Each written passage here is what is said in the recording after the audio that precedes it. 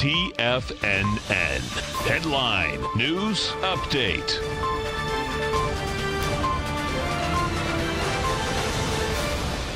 Welcome, folks. We had the Dow Industrials finish down 87, Nasdaq off 113, uh, S&P's down uh, 20.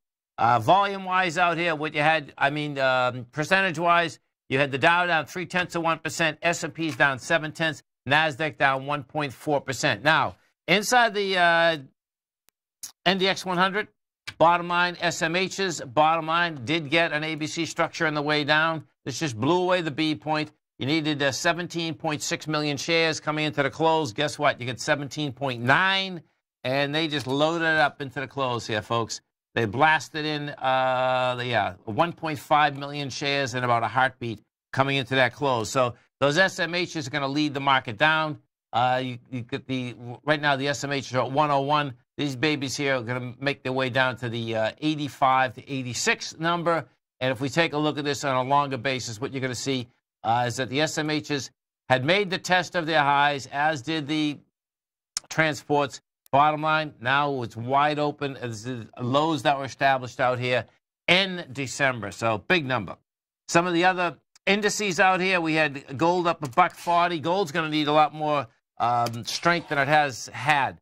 Uh, what gold did do is it rejected lower price, had lighter volume, closed at 1277. 1279.40 is what you want to see it over. Silver. Silver up 6 cents. That also rejected lower price.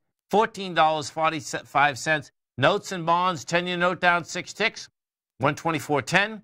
30-year bond off 10 at 149.12. They both back down, had light volume, building cause. They also want higher price, lower yield. I don't think we're going to see that for a few more days, but bottom line, that's how they're setting up.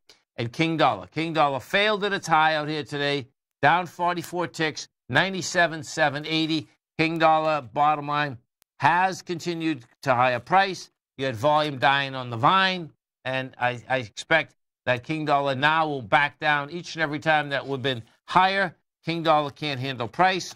Each and every time that we back down, there's no sellers also. So the bulls and bears are going to continue fighting over King Dollar. We're going to take a look at the SPY. What you're going to see is that you're backing down to the swing point.